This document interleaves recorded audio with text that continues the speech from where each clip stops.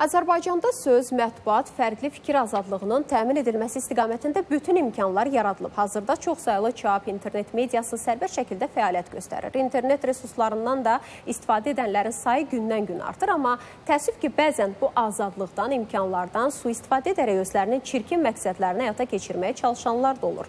Baş prokuror Kamran Əliyev bu cür dırnaq arası fəaliyyətə gerçək hüquqi qiymət verib, bildirib ki, reket jurnalistika əslində hədə qorxu ilə tələb etmə faktıdır. Odur ki, bunlar jurnalistika ilə heç bir əlaqəsi olmayan sırf cinayətkar fəaliyyətdir.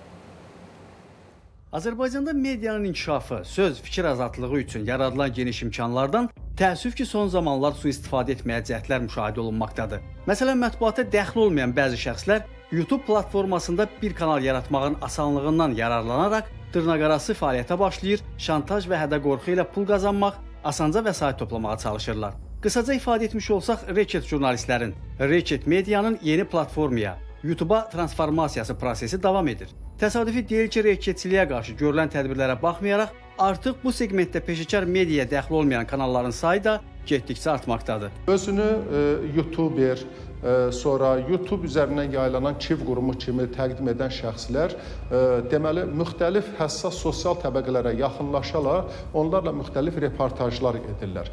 Məsələn, e, qazi olmayan şəxsə hərbi forma geyindirirlər, ona əlillik alətləri təqdim edirlər və güya ki, əlil kimi e, onları cəmiyyətə təqdim edib, güya ki, bunların sosial hüquqların pozması barədə kampaniyalar aparırlar.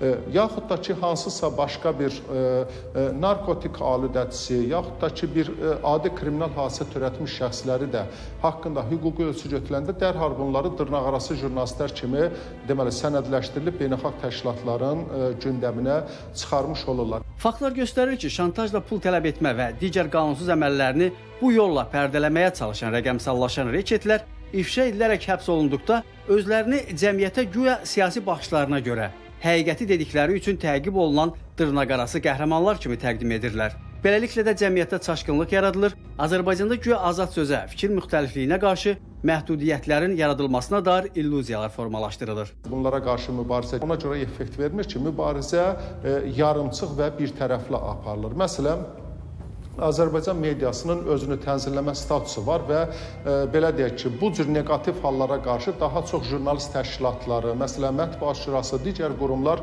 mübarizə aparırlar. Amma bu gün əgər bu məsələ, yəni o mediadan sui-istifadə, şantaj halları böyüyüb Azərbaycan dövləti üçün təhlükəsizlik probleminə çevrilirsə və Azərbaycan xalqının mənəviyyatına, ondan sonrasına, qələbə ruhuna, qələbə əzminə zərbə vurursa, bunlar haqqında artıq təkcə belə deyək ki, sözdə mübarizə deyil, həm də hüquq mühafizə orqanlar səviyyəsində sərt bir mübarizə aparılmalıdır. Daha ciddi fəsadlardan biri də özlərini siyasiləşdirmək iddiasında olan bu cür kanalların söyüş müxalifətinin platformasına çevrilməsidir ki, bununla da iyrənc söyüşlərlə məşhurlaşmaq istəyənlərin sayının da artmasını stimullaşdırmış olur. Təbii ki, bu zaman baxış və bəyənmə saylarını artırmaq istəyənlər daha jurnalistikanın peşəkar prinsipləri, ölkənin milli maraqları, sabitliyi hayında olmurlar və həm də Azərbaycana qarşı qara fikirli, istənilən xarici xüsusi xidmət orqanlarının da bilərəkdən və ya bilməyərəkdən nökərlərinə çevrilə bilirlər. Odur ki, hüquq mühafizə, təhlükəsizlik orqanları təkcə cəmiyyət üçün deyil, eyni zamanda da ölkənin strateji təhlükəsizliyinə